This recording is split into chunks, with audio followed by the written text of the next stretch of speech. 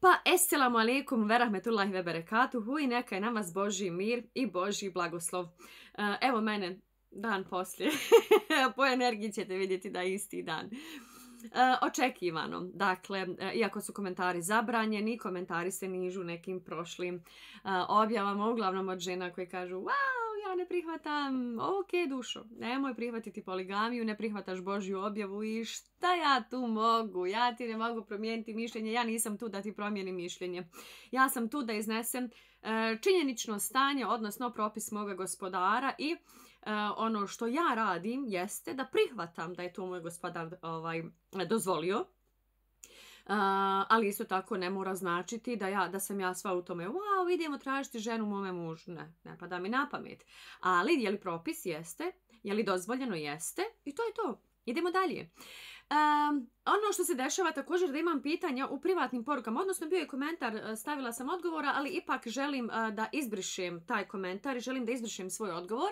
Želim da dam odgovor, evo ovdje, kaže e, da je propis da e, izmišljaš, jedan je komentar bio nešto ti izmišljate, dajte nam neku novu vjeru, pa e, otkud ideja da se može oženiti druga žena bez pitanja prve žene. A otkud vama, draga gospođo, ideja da se mora pitati prva žena da se oženi druga? Hajmo razviti i ovaj mit, odnosno ovu laž. Ovo smo vjerovatno mi žene izmislile da bismo spustile ljude na zemlju i da bismo eto tako proširile ideju da muškarac mora pitati svoju ženu da oženi drugu, što je apsolutna neistina. Dakle, gospođo, otvorite Kur'an, pročitajte čitav i nađite gdje se kaže da se prva žena mora pitati da bi čovjek oženio drugu. Odmah da vam skratim vaše muke, nećete to nigdje naći. Također to nećete nigdje naći u hadisu, niti u praksu Božeg poslanika, sallallahu alaihi sellem, da se pita prva žena, e šta misliš dušo? No, a pa koja je? Je ljepša od mene? Hajde da je oženi tu nikad u životu. Dakle, ne mora se pitati prva žena da bi se oženila druga. Šta se može uraditi?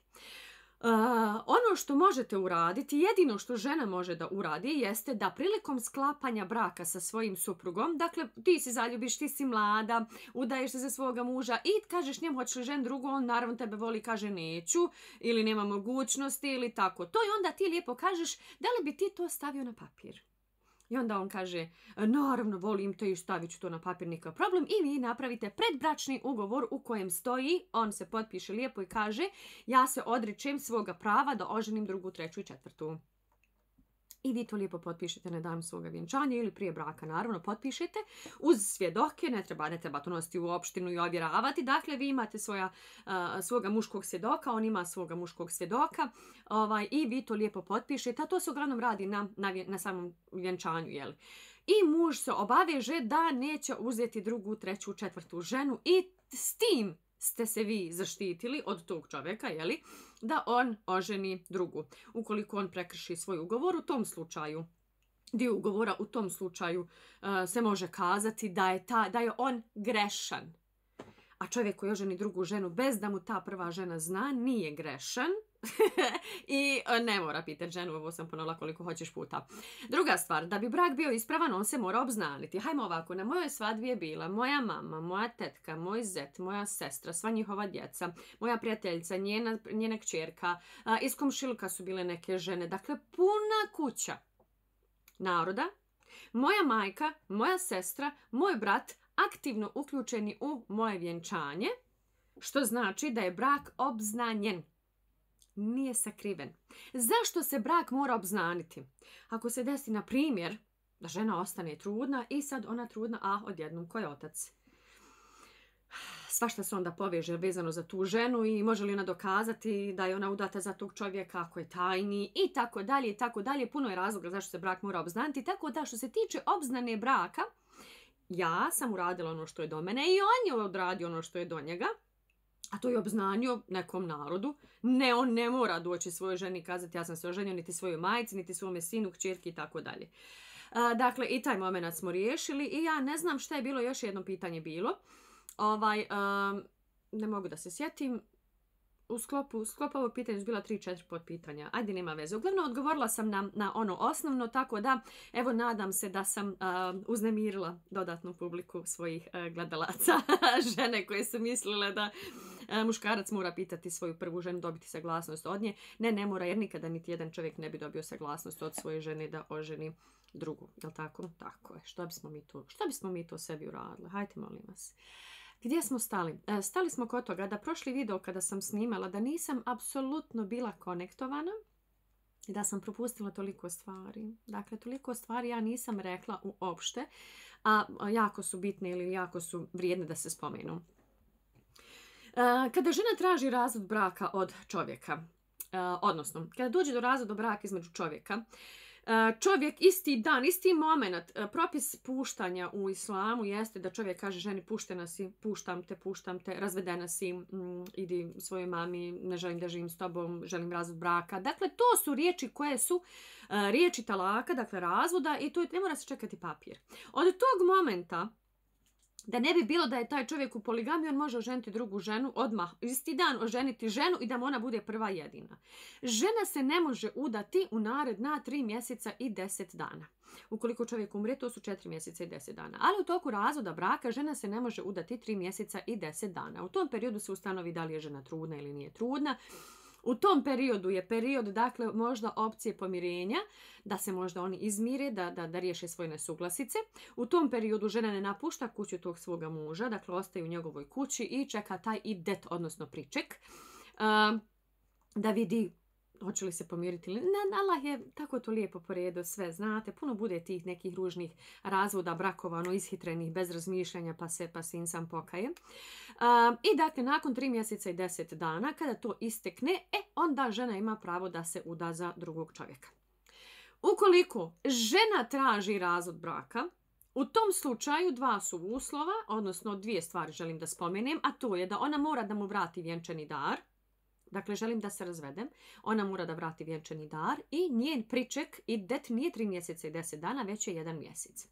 U mom slučaju, ja supruga nisam vidjela osam mjeseci, što znači definitivno nisam trudna, ali svejedno sam zamislila da će taj moj det biti ovaj tri mjeseca. U stvari nije ni bitno koliko mjeseci je trajao taj, taj, taj moj idet.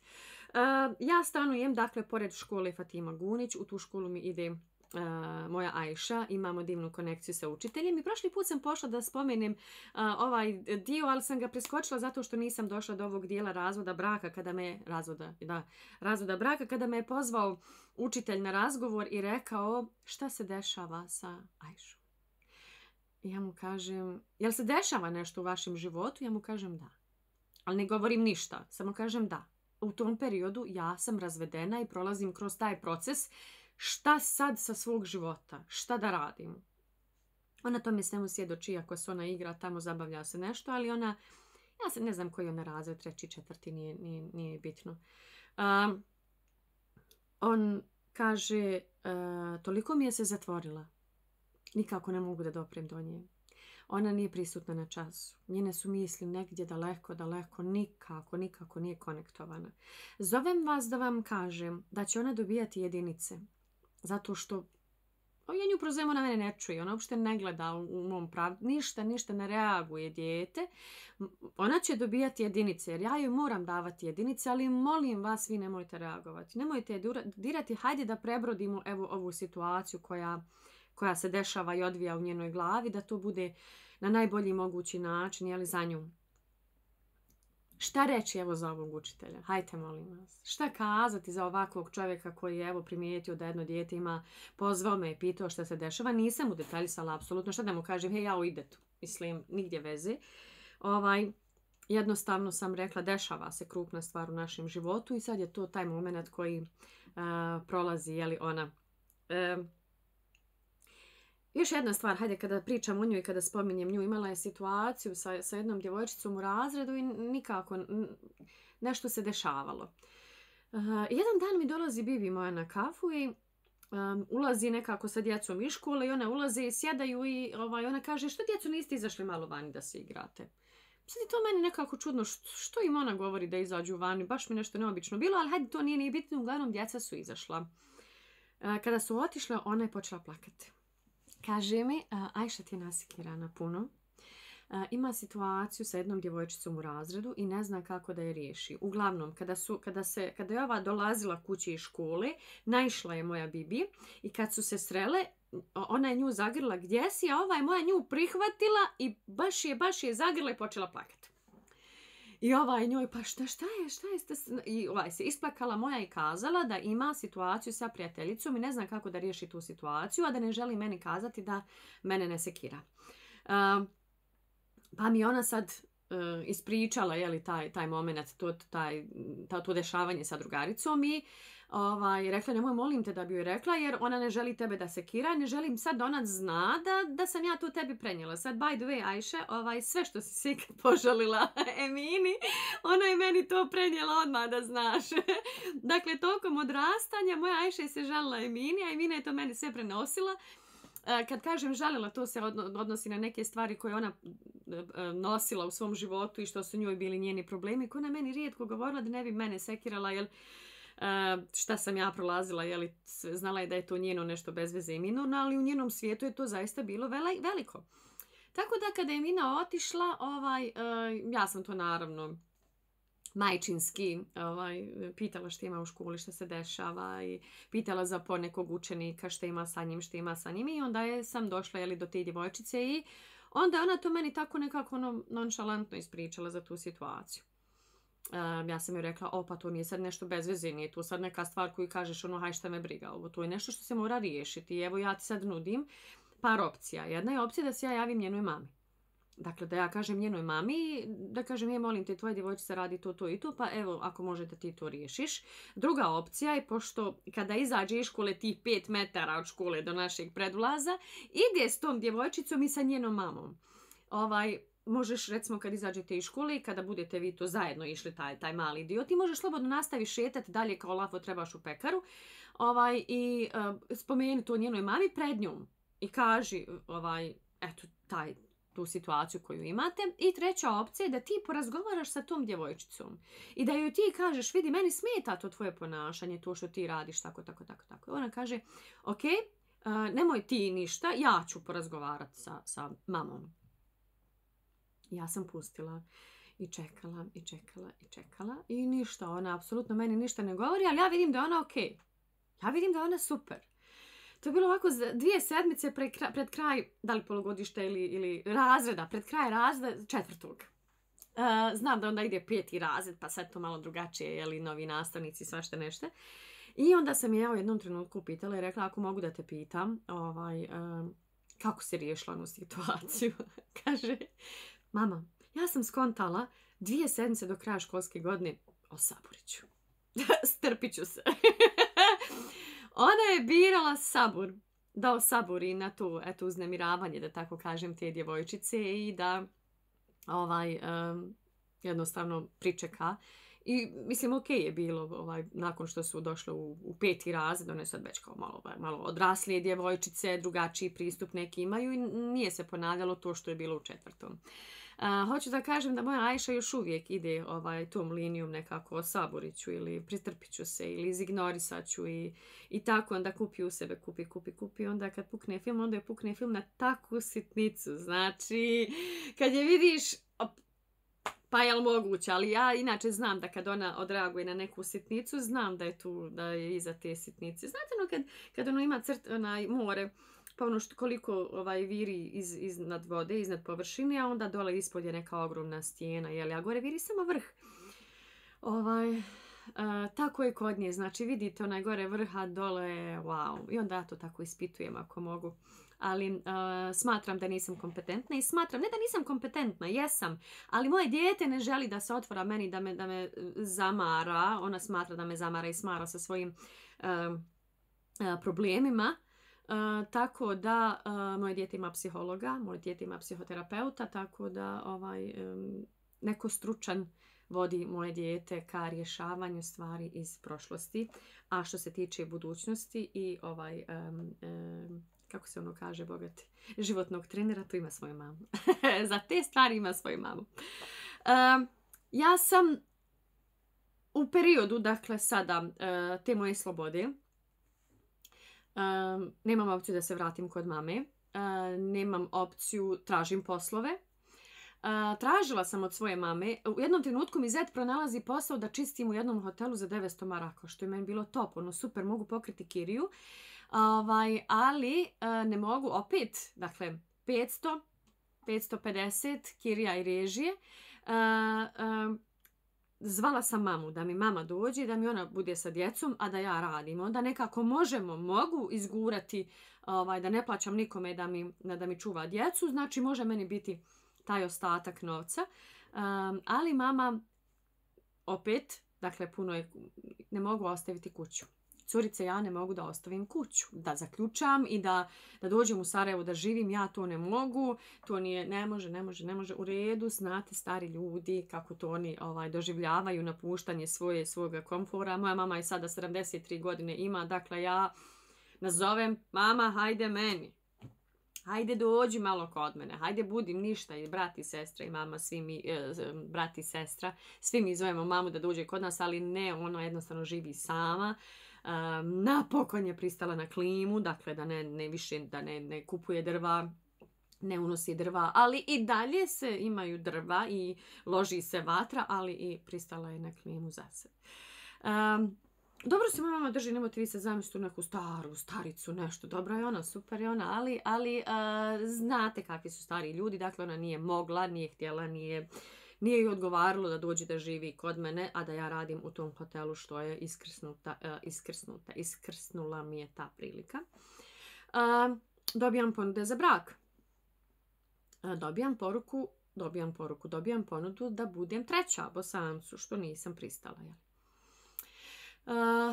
dobijam upoznavanje, imaš priliku da upoznaš jednog čovjeka, jako je fin, kulturan, super, ja tamo ono Arab, ali govori bosanski jezik, dugo godina živi u Bosni, znači perfekt čovjek priča, nije ovaj onaj prijašnji. Kao on ima neke svoje poznanike koji traže žene i tako on, on, on bi da preporuči ali mene da, da, da se ja udam za nekoga, ja kažem dobro. u svemu tome je meni teško. teško je budućnost je apsolutno, ne, ne da je neizvjesna, sadašnjost je teška, a budućnost je nešto, nešto sasvim, sasvim, ma kako budućnost, da mi je danas da preživim, taj dan da mi je da preživim. U svemu tome, dakle, dok su još uvijek, dakle, to sad sve stvari koje sam ja preskakla, dok još uvijek kod mene stanuju od sestri sinovi, momak koji je mene u nekoliko puta selio u međuvremenu, Uh, mislim, ne možete ni upratiti koliko. Neko me pitao možeš li izbrojati koliko si puta selila. u sedam godina znam da sam selila 12 puta, ali, ali, je, ali je sad, još je, još je se toga nakupilo. Um, um, zaboravila sam isključiti Wi-Fi, ja se izvinjam, ne znam da li čujete notifikacije. Um, momak koji je mene selio, dakle momak koji se nikada nije ženio, njemu je, on je mlađi od mene. Jeste dvije godine mlađi od mene. Uh, u međuvremenu, dakle, dok on mene seli to, to toliko puta, je on se zbližio sa mojom djecom. I on je posebno se zbližio sa mojom šemom. on mene nazove, kaže selam alikum, hej, ja sam tu, ovaj, e, dobio sam platu, ako može da, da mi pustiš djecu ispred zgrade, sam pusti mi djecu samo da im eto nešto dam. I ja tako pošaljem djecu, one izađu vani, u knjizi se on zove Đulaga.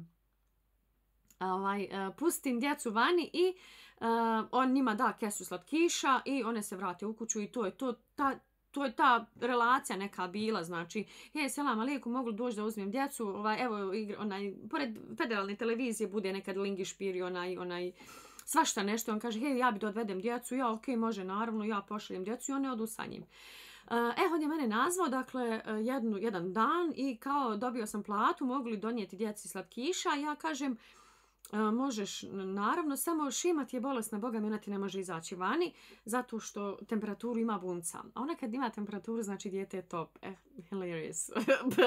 Baš je presmiješna. I, uh, ali sam mu rekla, kao, a ja sam tu, ali rekao vidi, ja od moje sestre i sinovi su tu, obojica, možeš ti slobodno uđi, nije nikakav problem, ja nisam sama, uđi da je vidiš, eto da... Ok, dolazi mamak, nosi kese i slatkiša, između ostalog, ne znam, deset dvojnih C i tako. I on je pokušao nju malo da je kao da je digne, ali nije mogao. I to je bilo to. Drugi dan on zove je li bolje šemi, ja kažem ne znam jeste ili nije, mogu doći da je vidim, može naravno, sinovi su tu, onaj, sinovi pomirite se s tim, sinovi. sinovi su tu. On dolazi da je, da, je, da je vidi, ne znam, donio se. Znači, pošto je meni teško u tom trenutku, znači ja sjedim naslonjena na, na, na uglu i ja plačem. Ako slušam slušam pjesmu Never mind, I'll find someone like you. Evo, muzika je grije, slušati muziku je grije, ja sam grešna po tom pitanju. U tom trenutku ja plačem ovaj, zbog jedne propuštene prilike, dakle braka. Imala sam bračnu ponudu u kojoj sam bila fascinirana fizičkim izgledom muškarca i njegovim mentalnim sklopom i svemu onome što je on se meni predstavio. Ovo nema u knjizi iz razloga što ne želim da, da pridajem pažnju nečemu, nekome. Uh, I znači ja sam bila oduševljena s tom osobom, ali sam isto tako znala da ukoliko sam ja oduševljena s tom osobom, da će sutra u braku sa mnom neka druga žena biti oduševljena sa njim takvom pojavom. E, što bi rekao učitelj Aziz, ima oči na zejtinu. Znate, li vam jasno šta je? E, tako da sam ja e, fascinirana bila, oduševila sam se sa likom i onda sam shvatila da bi ja bila duboko nesretna u tom braku i da bi jako, jako patila. I ja sam to prekinula. Ja sam s tim, rekla sam, ok, ja ovo ne želim u svom životu. Ne želim e, brak trzavica, brak nepovjerenja, brak u kome ću se ja sekirati kad on izađe meni iz kuće, da li on um, ima neku drugu ženu, ne poligamiju, poligamija u redu, ja želim poligamni brak, dobro, super, ok, ne, ne, nego, nego da će naći djevojku i tako, u tom smjeru. Um, tako da sam ja sad sjedim i slušam pjesmu, ja sam to raščistila, ne želim ništa, sa, odlučila sam sama sa sobom, ne želim da budem u, u, tom u toj priči s tim čovjekom i, i slušam Never mind, I'll find someone like you i plačem. Znači, meni samo suze idu A onda je se Đulaga igra na podu sa, sa Šemom. Ne znam gdje su momci, gdje je djevojka koja, Merijem koja je stanovala kod mene, djeca moja. Ovaj, I on mi kaže, izvini, jesi dobro? Izvini što te pitam, ali plačeš. ja kažem, a jesam. I sad kaže on, a, a jel, jel mogu ti pomoć nekako? Šta je s tobom?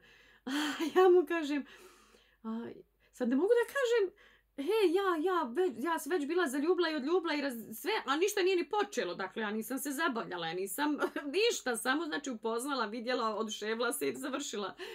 Rekao, sad ne mogu to da kažem, ja kažem, uh, razvela sam se. sad on misli da ja plačem. zbog bivšeg muža. I on je, on je ostao sad tu malo, aha, razvedena, dobro. I kao pa što i onda mu ja kažem imala sam sad ne mogu ne, što što plačeš pa ako je valjao brak što se razvela ja mu kažem ok vidi ja se razvela prije koliko nije bitno koliko mjeseci ali ovaj uh, imala sam ponudu za brak gdje mi je se svidio jedan čovjek a on ga poznaje. On ga poznaje i onda je to njemu bio neki znak aha ok ako taj čovjek ima šanse kod nje onda imam ja kod nje šanse. Što ja naravno nisam vidjela On je sve češće da dolazi. Kako sam vam rekla, mi smo kupili DVD i gledali filmove. I onda je on, e, jel se gleda film večeras? Ja kažem, ako odeš do videoteke i podigneš neki film, ok, gleda. I tu su naravno, ili znači nikad, za nikad, taj čovjek nije meni ušao u stan bez te djece. Bez ti mojih, ili Merijem da je tu, ili moja, moji mumci od, od moje sestre ili moja prijateljica, dakle imala sam, družila sam se, u tom periodu sam se pravo puno družila sa Amrom, Amricom. Ovaj, dakle imamo situaciju jednu. Hajde vam ispričam sad šta, vam, šta su posljedice. Evo šta su posljedice. Dakle, on, a moram ovako, dakle, on počinje dolaziti sve češće i češće i uh, jednu večer ja se ne mogu da zaboravim, perem suđe, neko, on je bio tu i otišao. Mene zove mama i šta radiš? Ja kažem, evo, završavam nešto čistim, ovaj, bio nam je uh, džulaga na kafi i tako. Kaže mama, hej mala, da se, da, da se on nije zaljubio. Draga mama, šta ti je tu? Mama koji se nikad nije ženio, što će se on zaljubiti tu ženu od troje djece, sa troje djece, daj majko, molim te. Ovaj, kaže, na, ali curce, što on dolazi? Ima li on život? Stanem kontam, pa vala baš. Što on dolazi? kod nas, gleda filmove s nama. Rekao, mama, aj, aj da laj manit. Spustim slušalicu mame, šaljem njemu poruku i pitam, što ti dolaziš? šta? Šta ti hoćeš? Kaže on, jel misliš na ove promjene emocije, tako to? Ja rekao, ne znam o čemu ti pričaš. opet, opet smo na onom momentu kad sam ja poglupa kad ne vidim neke stvari. I on kaže, vidi, ovaj, ako, taj, ako je taj čovjek imao šanse kod tebe, što ne bih imao ja? Kakve ti šanse čovječe Boži tražiš kod mene? Ja razvedena, evo drugi put, mislim, troje djece imam, ti se nisi nikad oženio, ti gledaš imaš li ti šanse kod mene. Kaže, um, gledam, gledao sam dokumentarac i jedna lavica i sa onim svojim malim lavićima, cubesima. Ovaj, I dok gledam to nisam ni svjestan bio, počeo sam o tebi razmišljati kako me ta lavica podsjeća na tebe. Ti si toliko, sad hajde da ja sad ne pričam, ovaj, um, zaista ovo nije bilo laskanje s njegove strane, niti neki pokušaj da mene osvoji. Ovaj, ako ćemo kod osvajanja, on je mene osvojio s tim što mi voli šimu više, već mene, evo. Ovaj, nego jednostavno je on mene posmatrao i kroz te godine, dakle, našeg poznanstva gdje me je selio, gdje sam ja jednostavno, ne znam, bila takva kakva jesam. Ovaj, e, kao, vidim te kao jednu, jednu jako, jako snažnu ženju, ženu, lavicu, majku koja se bori za svoju djecu i tako dalje i tako dalje. A ja u tome, hej, ja jadna, da ne mogu jadnija da budem. Um, I on spominje tako te neke emocije. Ja mu kažem, kakve crne emocije, čovječe, Bože, ja te gledam ko, ko, ne mogu da mu kažem kao nekoga ko me seli, jeli, ko čeka s kombijem. Ali ovaj, um, zaista te ne, ne gledam kao, kao muškarca, apsolutno kao, kao pojavu muškarca. On kaže, pa da se ja vratim, pa kao da vidimo je li ima taj neki klik. I sad, aj može, ok, hajde vrati se.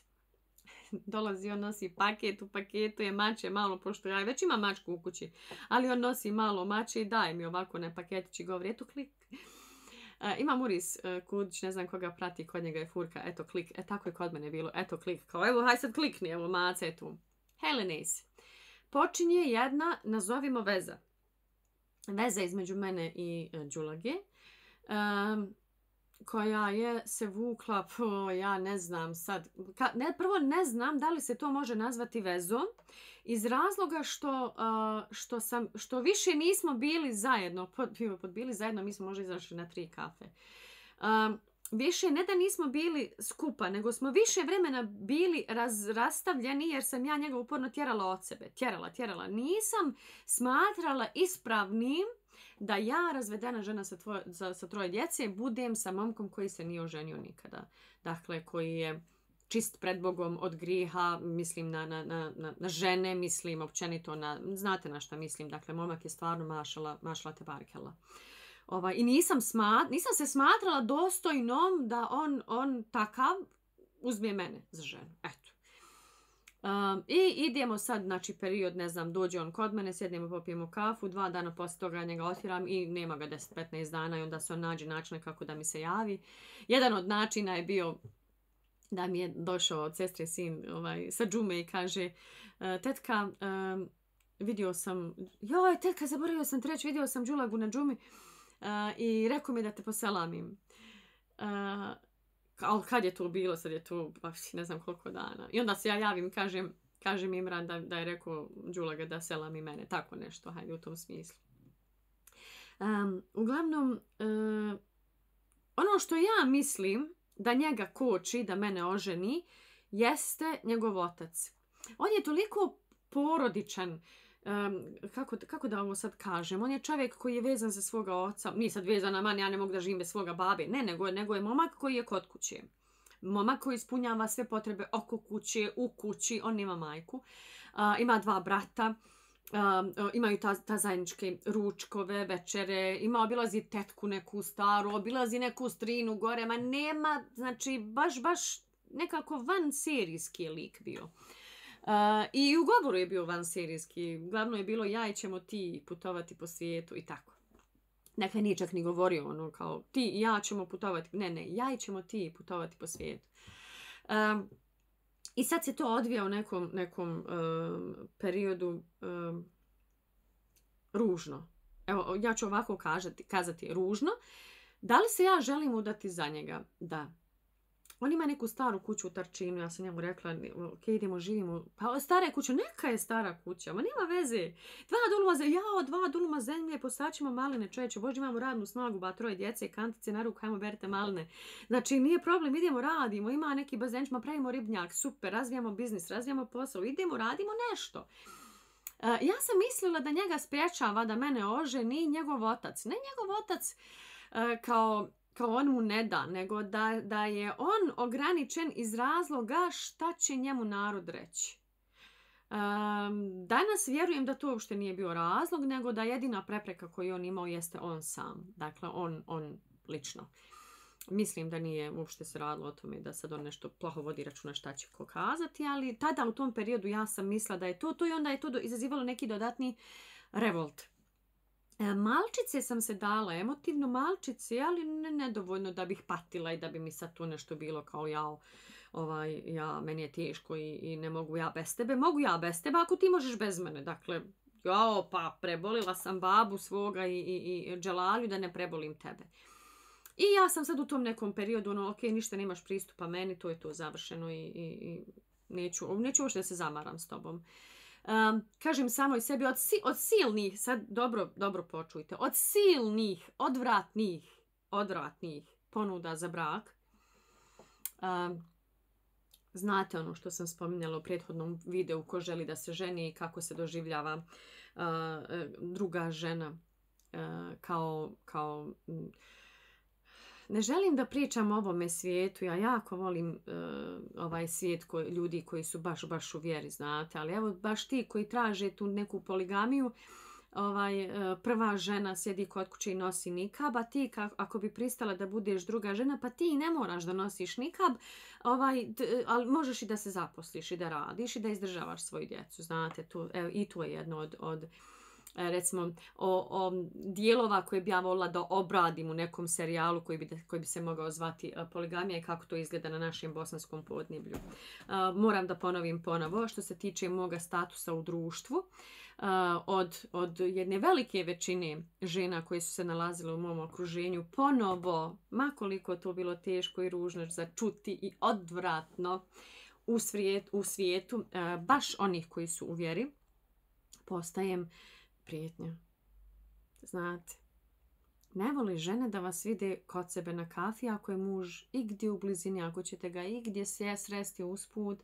Znači, ako mi muž izlazi u tri iz kuće, onda ti dođe oko četiri. Da se slučajno vas dvoje ne biste sreli u putu. Kao da, se, kao da si ti neka vodajuća uh, tražilica, ali ajmo zamislite, evo da sam ja ta neka hodajuća vrebatorka, jel mogu tako da kažem, tvoga muža.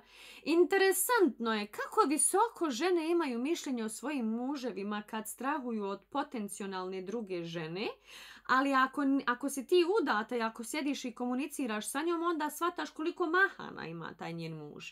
Koliko je bezveze lik, kako je Pa Bože, hvala Bogu pa me zaobišao. Znači, ženo, kako se ne razvedeš, era nemoj šta ti trpiš, ali ako si slobodna ti žena, i onda taj njen muž ima jednu visoku, visoku vrijednost. jako ružna situacija. Jako odvratna situacija među sestrama. Sad ko razumije, razumije. I tu je nešto s čim insan živi. Ja čuvam djecu. Plata mi je 300 maraka alimentaciju ako, ako Dželalija uplati. Nikada nije uplati. I samo jednom, i to tek nekad u budućnosti, ali do tada nikada nije uplatio 450 maraka onoliko koliko mu alimentacija zaista iznosi. Uh, I baš je, baš je um, ružna situacija. Bojim table, ali to je zarada na tabli jedno je 5 do 10 maraka, 15, to pa ako je neka džinovska tabla. Um, dakle, baš, baš ružno. Uh, dolazim sa svojom majkom kod sestre. To su mi bjegovi, znate, ono, odem, odem kod nje gore, odmorim malo, dišim plućima. Pobignem, pobignem od sebe same. I dok sedimo tako i pričamo nešto, dobijam poruku od uh, poznanice, prijateljice, mogu da kažem, koja kaže Assalamu alaikum hađera. Uh, htjela bih te pitati nešto. Radi u nekoj agenciji. imamo jednog jako finog gospodina ovdje. On je iz Saudije. dolazi već pune tri godine redovno svaki mjesec, svaki drugi mjesec. tražimo mu ženu. Pa ako imaš nekoga ovaj, za njega da preporučiš, mi garantujemo kao agencija, mi garantujemo da je on kao jako, jako dobar čovjek. Jako fin, jako kulturan i nije oženjen, dakle ono traži ženu u Bosni da hoće da kupi kuću, ima firme. On već ima otvorene firme tu par godina. Par, tri godine dolazi redovno i ima tu firmu, a još on od ranije dolazi u Bosni onako kao turista. Ja joj kažem, ja imam dvije prijateljice koje su slobodne trenutno i koje bi se htjele udati, tako da ću ja njima pošaljem sliku njega, tako da ću ja njima ovaj, dvijema ponuditi ovog čovjeka, a ako one ne budu htjele, ovaj, predloži mene. Tu se ona iznenađuje, a iznenađujem se ja sama. Jer bilo je ono ne, Arap ne, ne, ona kaže, izvini, molim te, za, ja sam mislila da si ti udata za pa, pa sam zato osjetila slobodu da ti se javim i da pitam imaš li drugaricu neku. Ja njoj kažem, ja sam se razvela, dakle nisam više udata, ali ovaj, ja moram da se udam. Dakle, šta sad? kaže ona, ok. I ja istog trenutka, dakle istog momenta ja šaljem poruku jednoj i kažem, imam Arapa za tebe, hajde, evo, ova, evo ti slika. Na slici je on gospodin, sjedi za nekim stolom. Gospodin, dakle, odijelo, kravata, frizura. Evo, rekao Arab, nije, oženjen. Dakle, oni neće da budu drugi nikako. Evo ga, nije oženjen. Hoćeš li, ovaj... čini mi se da su rekli 45 godina mu je. kaže, o, jedna, kaže, nikako na ratnoj nozi samo s muškarcima. Ja se smijem, kažem, sad si našla da budeš na ratnoj nozi s muškarcima kad evo neki fin čikice. Čikice. Ne, nikako. Dakle, ne želim apsolutno da razgovaram na tu temu. Ok, javljam se drugoj. Kažem, e, vidi, evo, evo slika tu. Ona kaže, e, ja, ja ne mogu, moram da klanjam istiharu. Kakvu crnu istiharu da klanja ženska glava, daj mi sliku da pošlijem čovjeku ako bude htio on tebe, mislim, i to moramo gledati. Ovaj, ne, ne, ne, ja hoću da klanjam istiharu. Ama ženska glava, dajem pošalj neku svoju sliku da dam liku, znači rekli su mu da će noćas dobiti dvije slike. Kao ja, ne, neću, neću, stvarno ne želim, ne želim, neću. neću uopšte da, da... Dobro. Ja ovo javljam i kažem, ni jedna ni druga nešto neće, nemam pojma. Rekao, otvori moj Facebook i vidjet ćeš neke slike, eto, uzmi, pošalji, proslijedi i to je to. Kaže, na dobro. Po, poslali, poslala na njemu sliku, nemam pojma, dala moj broj telefona mi smo se vratili kući i e, na večer meni zvoni telefon, neki nepoznat broj na Whatsapp. Ja se javljam i znači čovjek kao, kao govori bosan, ovaj, e, engleski, ali jedva. Ja tu nakon 15 godina potežem taj neki svoj arapski jezik da ja progovorim, da ja, da ja kažem koju. E, uglavnom, ono što sam ja shvatila je da on dolazi e, sljedeće sedmice e, i da je planirao, pardon, da dolazi sljedeće sedmice u, u Sarajevo, ali da će on doći čim prije. I kao da se mi ovaj, vidimo. Ja kažem, ok. U tom periodu ja se ne vidim i ne čujem sa uh, Džulagom nikako. Dakle, ništa, ono, rekla sam, ne, ne, neću, to je to. Je to. to je to. Uh, ja zaboravila sam jedan, jedan jako bitan detalj da vam spomenem uh, kada je poligamija u pitanju. Opet, ovaj, lako je dijeliti jeli, muža kad ti dođeš kao druga žena. Želim da se zaustavim evo ovdje da, da ubacim um, ovaj moment i pa ga ne mogu ubaciti. Hajde ovako, neću vam kazati koji je uslov bio, ali sam Dželali rekla ako ispuniš to, to i to, ja ću te oženiti. I on kaže, molim, ja ću te oženiti sa drugom ženom. E sad, on je totalno drugačija fela u islamu od selefizma onog, onih ljudi koji praktikuju da uzmu drugu ženu. Ali ja sam njemu tada rekla, imam jednu prijateljicu koja iz nekih svojih zdravstvenih razloga reč, rečeno je da neće moći imati ovaj, e, djece i tako u svakom našem susretu pričamo o tome je li ona plače kako je teško misli da se nikada udati neće. I evo, ako, se, ako ti ispuniš ovaj svoj uvjet, e, ja sam i njoj rekla, ako se ne udaš do svoje 33. godine, Boga mi, evo ja ću te udati za svog muža. Znate koliko sam volila Dželaliju? E, znači, želim da moj muž ispuni nešto od vjerskih propisa, želim da ispuni to, a s druge strane imam prijateljicu koja misli da se nikada neće udati i ok, evo, evo, ja volim, jel to dozvoljeno? Jeste, ok, ja ću te ja ću te oženiti sa njom. I on je mislio da se ja šalim, on je mislio da, ja to, da je to ono moje žensko, ne meni je zaista bilo bitno da on ispuni taj, taj vjerski propis. Ovaj, I uh, ja sam rekla, ja sam njoj, Boga mi to rekla, ona mi se smijala i rekla, daj ba ti se šališ. Sam rekla, ne šalim se tako mi je znači ne šalim se Boga mi. Ovaj, I onda sam joj rekla, hajde dođi. I onda ona došla kod mene i nas troje smo sjedili, nismo pričali na tu temu. Uh, tad sam ja imala, uh, već mi je bio babo umru, dakle to je bilo, dakle imala sam šemu. Znači, nisam uopšte rekla, e, hajmo sad nas dvoje pričati o tom sastavu, o toj sastavi, o toj postavi, ovaj, ali sam dala do znanja i jednom i drugom ja ozbiljno mislim, znači ti ako ne budeš mogla da nađeš nekoga ko će te prihvatiti zato što ti možda misliš da neće imati djece, ovaj, uh, ja ću te udati za svog muža, nećeš ostati sama do kraja života, ti izvoli ispuniš šerijatske dužnosti, mislim, ne možeš ti sad, sad ovo lupam, uh, osobe koje uzimaju u poligamiji uzimaju druge žene, znači, ne znam, on ne klanja, a hoće da oženi drugu ženu. Ne znam, on nepokoran svojim roditeljima, apsolutno nikakve veze neće da zna šta će oni meni pričati, a hoćeš da uzmeš drugu ženu. Zna tri sure iz Kur'ana, a on hoće drugu ženu. Hajte, molim vas, ispunite neki red. Ispunite neke, neke uvjete, neke šartove, pa onda ne možeš ići na hađ, a ne klanjaš. Kako otići na hađ kad je sastavni dio hađa i namaz? Moraš klanjati da bi otišao na hađ. Dakle, ispuni neke uvjete, šartove, pa, pa ovaj onda uzmi tu drugu ženu. Tako da, ovaj, e, dame i gospodo, kada je poligamija u pitanju, dakle, ja sam imala i taj moment, moja prijateljica su među vremenu udala, hvala Allahu, gospodaru svjetova.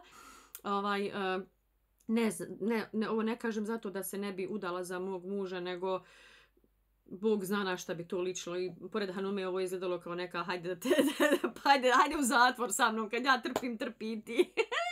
Ovo je baš odvratno. Uh, mislila sam otići u nekom opet lijevom smjeru. Uh, dakle, gdje sam? Uh, da, sutra dan, sutra dan, meni zvoni telefon, ja se javljam, bosanski broj, rano me neko, me probudio, ja se javljam, kada on, Arab, ali bosanski broj. Ja molim i on meni kaže, ja sam ovaj uh, u Sarajevu, ja bi volio da se mi vidimo odmah.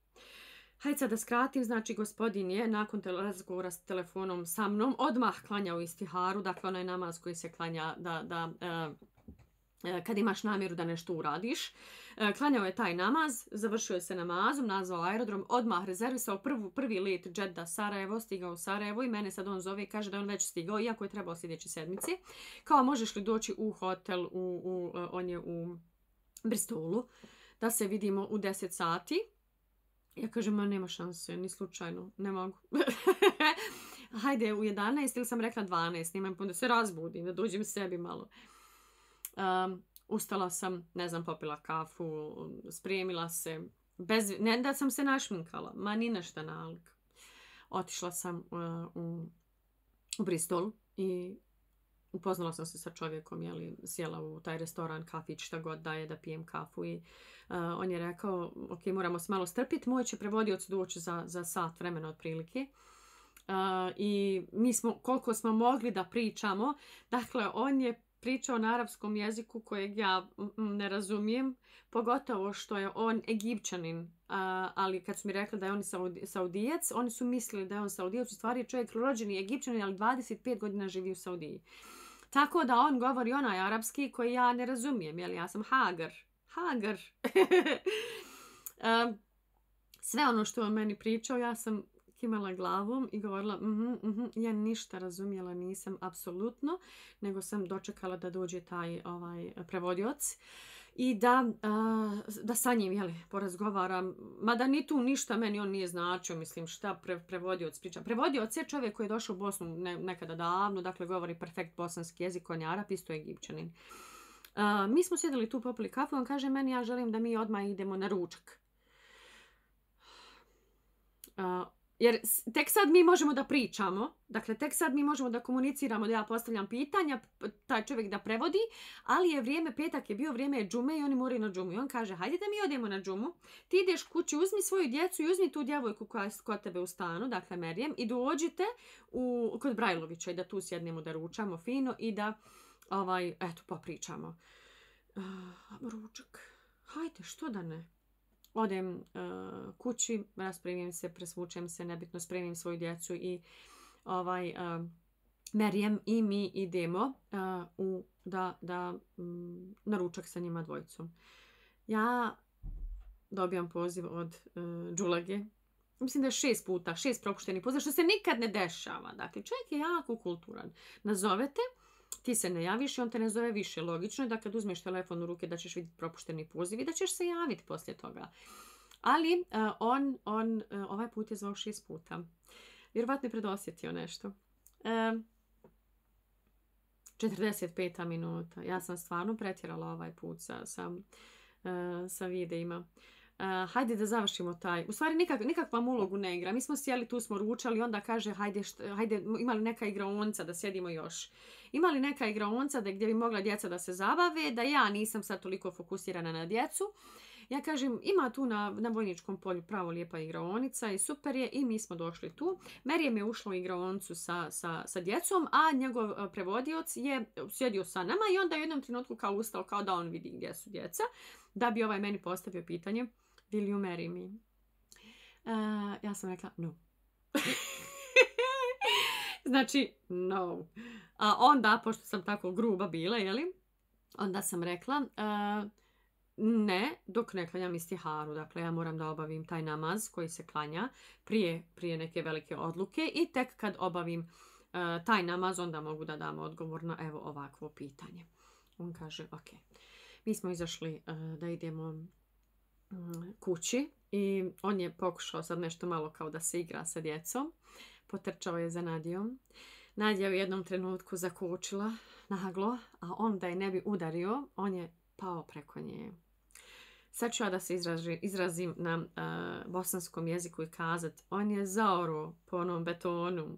Znači, Allahu, šiklja krv ovako, samo lijem ja vadim maramice, sve ovako jedno po jedno dajem ovom, ovom. O, znači on njemu samo stavlja to čisti, čisti, ja govorim odmah, znači hitna, odmah. Oni su otišli, a ja sam došla kući da bi onda tek uzvratila na pozive e, džulagine, da vidim šta to, gdje to gori u ovih šest poziva. Zaustavit ću se ovdje, neka to bude to za ovaj put, ipak je ovo malo previše od mene za danas. Tako da do sljedećeg e, nastavka e, neka je na vas Boži mir i Boži blagoslov i Esselamu alaikum ve rahmetullahi ve.